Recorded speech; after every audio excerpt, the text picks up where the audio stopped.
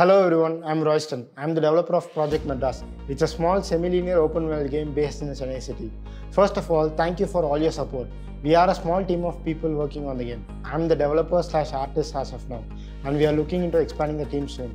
There are various other people working on the story, music, audio, and other aspects of the game. Even though we are a small team of people, our goal is to push the boundaries of what's being made in India. We are doing this at our own pace, and I think everybody will like the final game. The hero of the game is the city. Chennai is such a diverse place with lots of moving parts and lots of stories to uncover. As with any game, story is the most important aspect. We are hard at work crafting an interesting story that is so connected to the city and makes you a part of the game. We will share more about the story in the future. Recent commentsல open வேர்ல்ட்னாலே GTN தான் எல்லாரும் நினைக்கிறாங்க S it's one of the most popular game project Madras வந்து ஒரு small Hitman style இல்லை watch tax மாதிரியான game but western ஸ்டைலில் இல்லாமல் ஒரு தமிழ் சினிமா வைப்பில் ரூட்டடான ஸ்டோரி டெல்லிங்கில் இருக்கும் In terms of release platforms, it's primarily made for PC and consoles in a later stage. And a quick disclaimer before getting into the gameplay. Everything you're about to see is a work in progress version of the game, and it's more like an environmental showcase. Give us your feedback, and we are looking into improving every aspect of the game. Let's jump into the gameplay. Hello guys, this is the beach environment. Here we try to create the famous Marina Beach. the sun is set to a time lapse mode so that you can see all the lighting variations on the day to night cycle.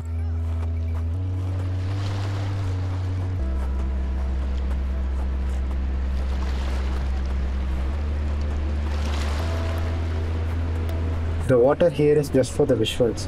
The final game it will be interactive and you can go swimming and do other stuff.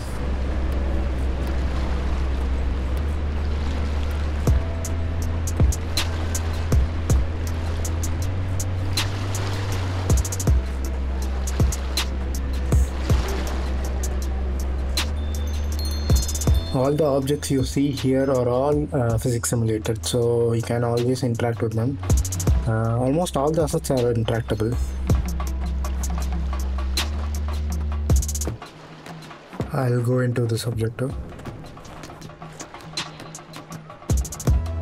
all the cutscenes you see here are all just uh, placeholder assets. Uh, they are not the final quality. Uh, this is just to demonstrate how the cutscenes will work as the sun goes down you can see all the lights uh, turn on in a random way like uh, just like the real world. Also you can see aeroplanes uh, flying in the sky.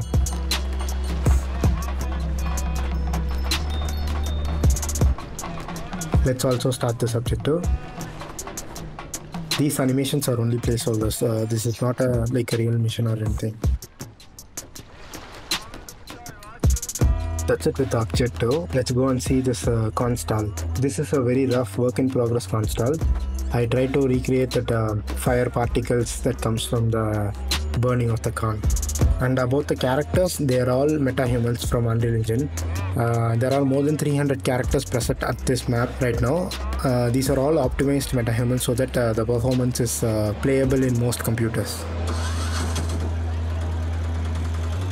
Let's take the auto for a ride auto rickshaw is the only drivable vehicle as of now. Uh, we chose to do the auto because it has only three wheels and it's a bit tricky to balance the physics. So i took it as a challenge and tried to make it work. This camera angle here is uh, just for fun. It's not in the final game. With this angle you cannot drive. So it's just a cinematic angle also all the characters are all uh, physics simulated so you can hit them. And uh, the ragdoll is bit buggy right now but uh, it, it is also exaggerated for a funny purpose.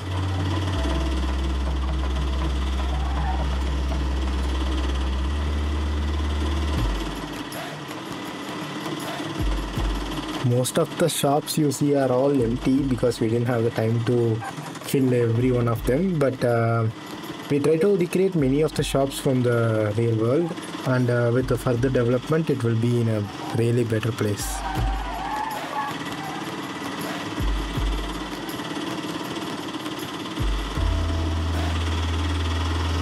Let's go to the other environment. Uh, we'll complete this uh, objective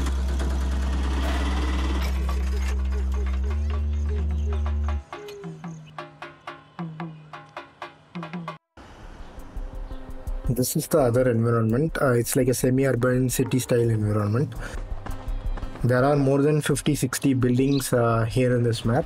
And uh, we took a procedural approach to make uh, this kind of environment so that uh, almost all the buildings even though they are they are similar uh, they look different all the stuff you see here like the clothes the electric poles trash grass and uh, other decals ac etc etc these are all procedurally placed.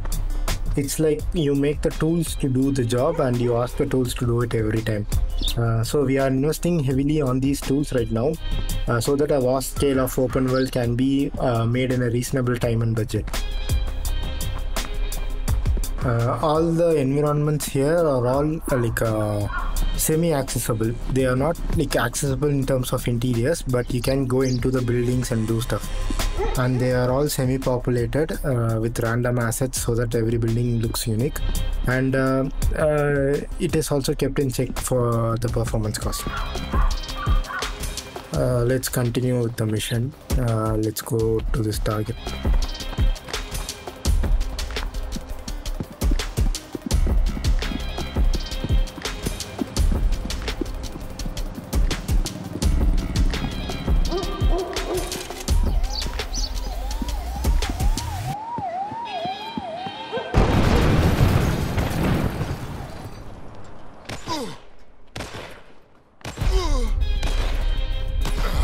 I heard your feedback about the animations looking stiff.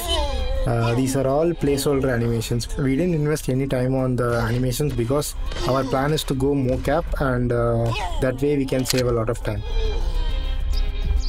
Speaking of assets, most of the 3D models you see here are all hand modeled and stuff like these trash cans and uh, cardboard boxes are generic assets uh, sourced from the internet.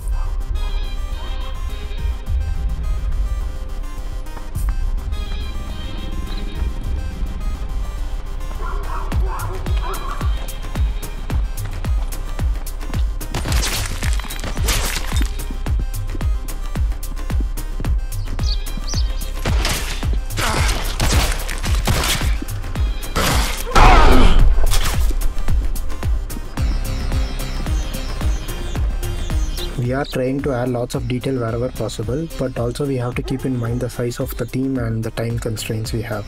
Uh, we are a small team and uh, we are not a fund and game development studio so we are uh, doing this at our own pace and uh, trying to balance the time and budget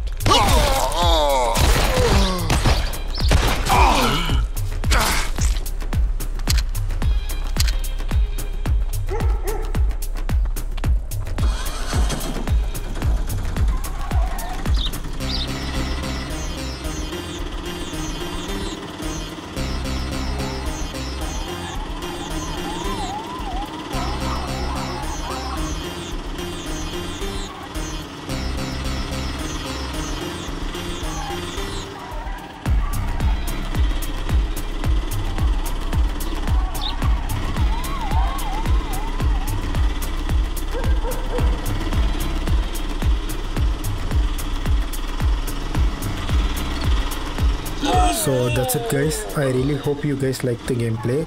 This is just the beginning and uh, we'll share more about the game soon.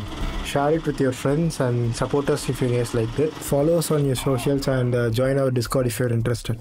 I'll see you in the next one. Thank you